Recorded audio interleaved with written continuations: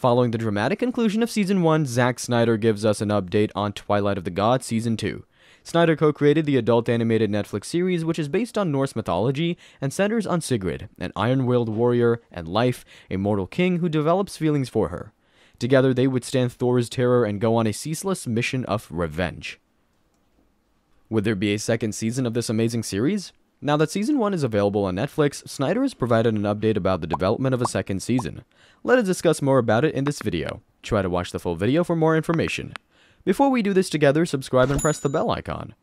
Will there be a second season of The Twilight of the Gods? In an exclusive interview with Screen Rant, Snyder conveyed his excitement and optimism about the prospects of Twilight of the Gods Season 2, implying that plans and conversations are in motion for the upcoming season. See his entire remarks below. Without a doubt, we're discussing it. We're all enthused about a possible season 2 and know what we want to accomplish, so we'll see. Naturally, we've discussed it. We'll see what happens, but we're we're well on our way. The first season's reception and Netflix performance will ultimately determine if Twilight of the Gods gets renewed for a second season. Since all eight of the first season's episodes were made available on Netflix today, September 19th, it is still unclear how the show has performed on the platform and how the public and critics have responded to it.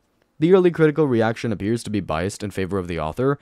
Nevertheless, four reviews of season 1 were posted on Rotten Tomatoes the day it debuted, and they all seem to be in the good range.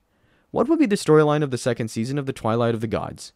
Season 2 may focus on the fallout if Season 1 concludes with the Ragnarok event, which is the last conflict that puts an end to the world of giants and gods. According to Norse mythology, the world is reborn and a few gods survive Ragnarok. Rebuilding a new global order may depend on individuals like Magni and Modi, their sons, among others. The show may focus on their difficulties in adjusting to the devastation and reconstruction of life.